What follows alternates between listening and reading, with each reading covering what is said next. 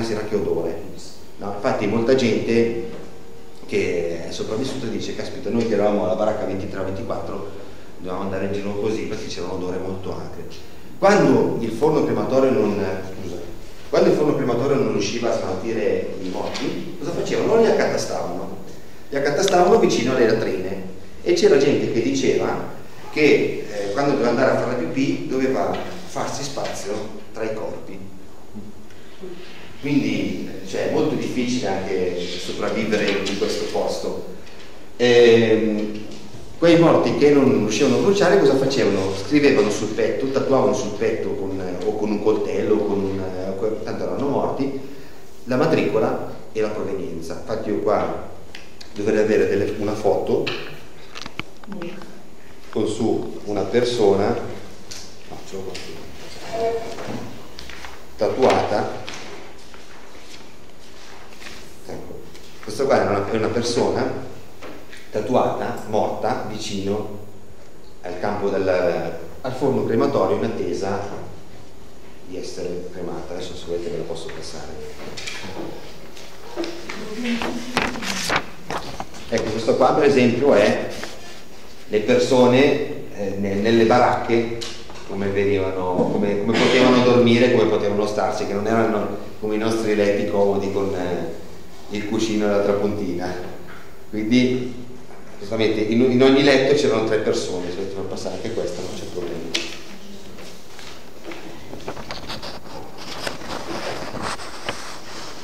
Per esempio questa è una fotografia, questo è il muro è il muro che sta qua sotto, sotto vicino al, campo, al, al forno crematorio. Queste ammassate sono tutte le scarpe dei detenuti che hanno bruciato, sì, una montagna di scarpe. In ogni posto del, del campo di concentramento c'erano dei luoghi dove eh, mettevano gli effetti personali. C'era un luogo con tutti i capelli, dove li rasavano, c'era una montagna di capelli, un luogo con tutti i vestiti, un luogo con tutte le scarpe poi venivano bruciate quelle pure venivano bruciate non nel crematorio ma nel, così a, a, a, cielo aperto ho qua anche una foto del crematorio che c'è ancora questo forno crematorio. È un po' come vivere un film dell'orrore. Sì, sì, il problema è che eh, all'inizio chi entrava nel campo di concentramento non si accorgeva si accorgevano solo dopo. Questa qua è una foto del crematorio che c'è tuttora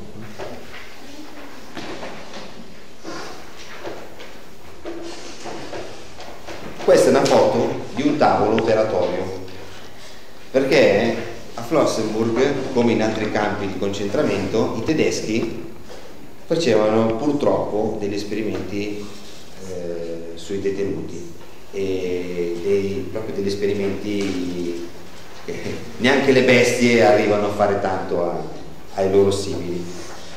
Eh, facevano questi esperimenti perché?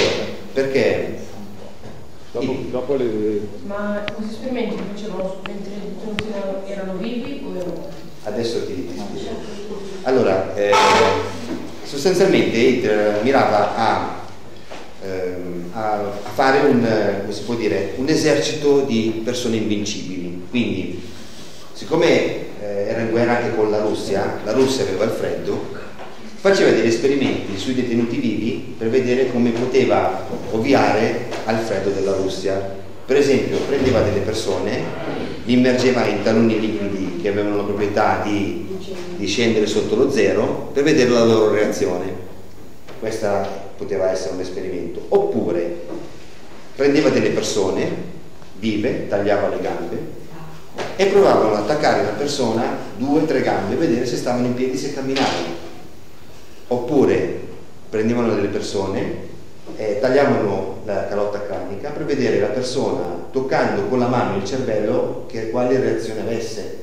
Perché praticamente eh, aveva paura che quando i suoi soldati venivano fatti prigionieri, li torturavano, lui cercava di capire alle torture come poteva ovviare cioè se quindi uno torturava sentire dolore per, per cercare di, di, di, di, togliere questo dolore, però lo faceva come, su via come esperimento. Per esempio le donne iniettava nel, nell'utero sostanze tipo eh, il tetano per vedere quanto tempo morivano, cosa succede, perché magari eh, i, loro, i, loro, soldati in guerra prendevano il tetano perché si tagliavano col ferro, quindi un soldato quanto tempo prende il tetano, quanto tempo muore, calcolava il tempo di morte, oppure faceva esperimenti sempre sulle donne a vedere se riusciva a far nascere dei mostri, per esempio accoppiava le donne con dei cavalli eh, o, o, degli animali, sì veramente, guardate che cioè, non, cioè, è, è, triste la cosa, eh? perché lui voleva, voleva, cercare di capire eh, quanto più si poteva spingere l'uomo a eh, fare degli esperimenti per creare magari delle razze diverse da quella umana oppure la razza perfetta che era la razza ariana. E questo è il tavolo dove a Flossenburg facevano questi esperimenti e il tavolo c'è tuttora. Tanto è vero che i medici poi sono stati catturati dopo la liberazione sono stati poi condannati, penso che posto vedete con, con i vari processi. Come? Cioè, dovevano fargli passare le stesse cose che hanno fatto passare loro alle persone. Eh, la legge del taglione, guarda, penso che anche, sono d'accordo con te, ci vorrebbe proprio che oggi, guarda. Comunque, niente, eh, questa poi, vabbè, questa è una fotografia, tanto per farvi, per farvi vedere le persone come erano denutrite.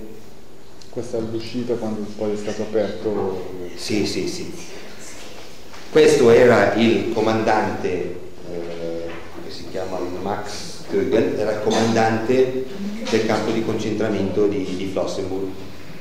Diciamo che è lui il responsabile di, di tutto quello che succedeva all'interno e lui era dentro qua nella direzione. Eh, cosa dire altro? Niente. Ecco, il campo di concentramento aveva delle torri di guardie che sono 1, 2, 3, 4, 5, dove nessuno poteva sfuggire perché naturalmente munite di, di, di soldati e mitragliatrice, il primo che, che sgarrava veniva ucciso. Aveva il magazzino edile qua perché appunto come dicevo ci sono delle delle miniere, eh, quindi qua avevano dentro tutti gli strumenti. Mio zio Aurelio era, era stato trasferito nel sottocampo di Hersbruck, dove avevano tutte le attrezzature per costruire gli aerei. Quindi lui ci veniva qua la sera a dormire e basta. Cosa dire d'altro? Quello che devo dire. Se avete qualche domanda io posso Ma qualcuno è mai riuscito a scappare, non si sa, sì, in sì. questo campo? Sì, sì, sì, ce ne sono tantissimi. Io ho contattato eh, 4-5 persone che sono tuttora vive, che hanno conosciuto mio zio e hanno raccontato eh, attraverso dei libri la loro storia. Io vi ho portato un paio di fogli tratti da, da un libro, se poi magari qualcuno lo vuole leggere qui in classe, così almeno capite un po' anche eh, cosa succede, perché eh, per esempio nel campo di Flossenburg, ecco una, una curiosità, eh, chi parlava tedesco era privilegiato, perché eh, veniva messo a lavori eh, un pochettino meno faticosi, mm, soprattutto a tenere un po' anche un po' la, la, la corrispondenza con gli italiani e, e, quindi questi qua si sono salvati perché sapevano parlare il tedesco. Dimmi. Quindi zio non parlava tedesco? Mio zio non parlava tedesco, purtroppo no. Mi dispiace. Poi dopo vi racconto anche eh, due piccole cose che vi faranno sorridere, perché ehm, la nostra storia qua di questi paesini qua, noi, zona Bregnano, Guanzate, Cadurago, è prettamente contadina, no?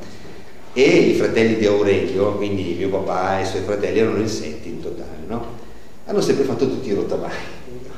Quindi andavano e portavano gli stracci, rottami, ogni tanto magari vedevano qualcosa la rubavano di ferro così perché una volta naturalmente per vivere bisognava sopravvivere non, non era vivere allora eh, due curiosità vi racconto. Eh, nel 1945 eh, il duce come sapete è scappato e è stato fucilato in cima al lago di Como. La colonna del duce è passata sull'autostrada la nostra autostrada perché forse non tutti lo sanno, ma l'autostrada Milano-Como è stata la prima al mondo, ad essere, al mondo, eh, ad essere costruita, quindi negli anni 40 c'era già. E, quando è stata bombardata la colonna del Duce, è stata bombardata nei pressi di Cadorago, dove c'è adesso l'autogrill. La mia famiglia, quindi la famiglia di Aurelio, è sempre abitato lì vicino all'autogrill. Quando c'è stato il raid aereo, eh, mio papà mi ha raccontato che si sono nascosti tutti perché insomma, immaginate, passa un aereo oggi, passa il Boeing va alle Maldive, una volta passavano gli aerei a bassa quota, se vedevano qualcuno mi mitragliavano e buttavano che bombe.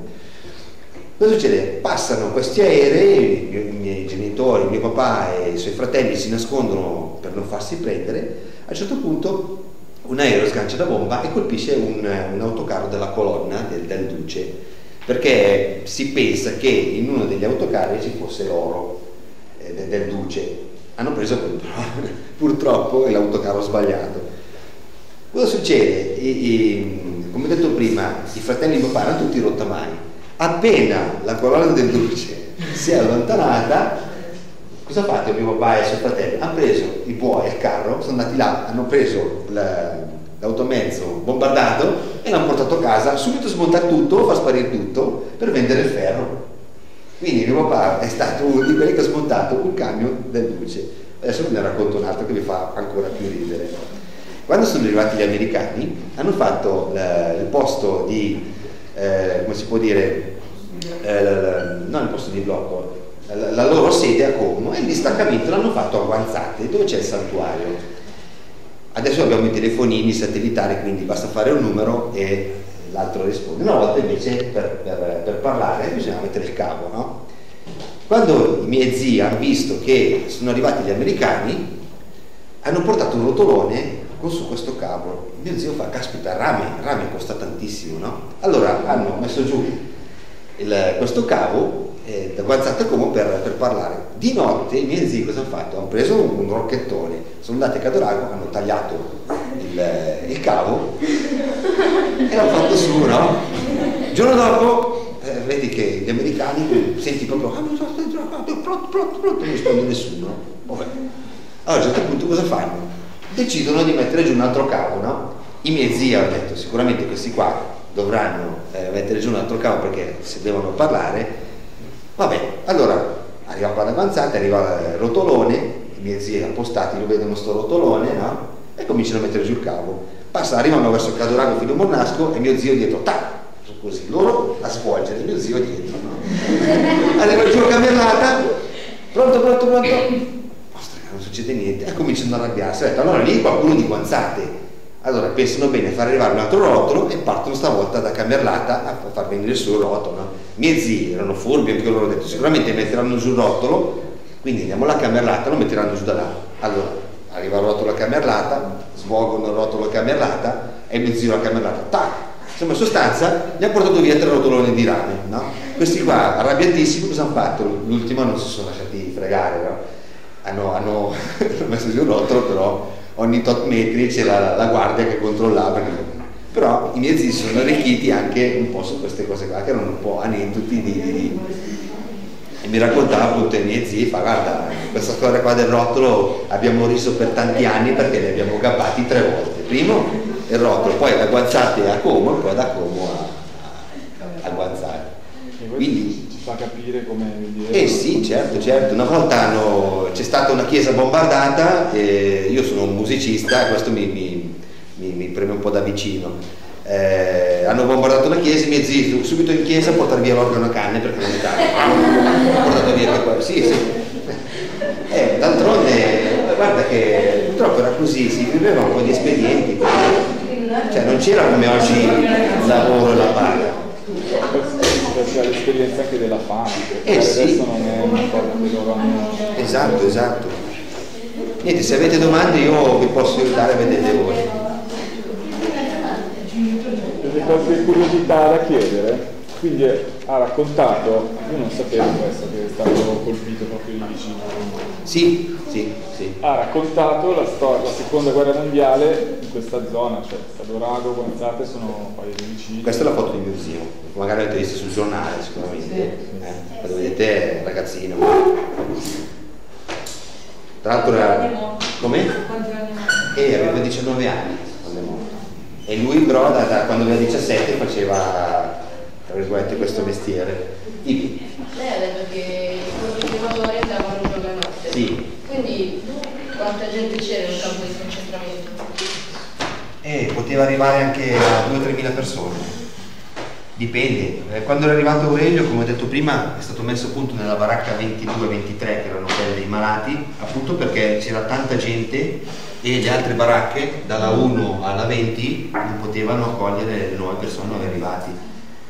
Quindi li hanno messi lì, ma tutti, cioè come avete visto dal foglio, fotografia, tutti insieme, cioè 4-5 in un letto. Quindi voi pensate che magari se il campo di concentramento poteva tenere 1000 persone, lì ce ne erano 5000. Era nel loro interesse avere più persone, perché più persone potevano spaccare più pietra oppure costruire più aerei. Quindi era come un paesino, piccolo paese, Sì. poi ce n'erano tanti di campi di concentramento. Ecco, adesso cosa c'è, eh, cos'è rimasto di questo campo di concentramento? Le baracche naturalmente non ci sono più, perché erano fatte in legno. Tra l'altro queste baracche qua, fatte in legno ma senza finestre, avevano dei piccoli fine- delle piccoli finestrini e quindi voi potete pensare magari 500 persone dentro in una casa, cioè lo- l'odore che, che poteva esserci, oppure proprio il caldo, il freddo, cioè era una cosa di sudore, cioè, mm, era invivibile. Ma la baracca era corridoio in mezzo, letti da una parte e letti dall'altra. Sì, un corridoio in mezzo, metti da una parte, adesso non so se ho qua un'altra foto.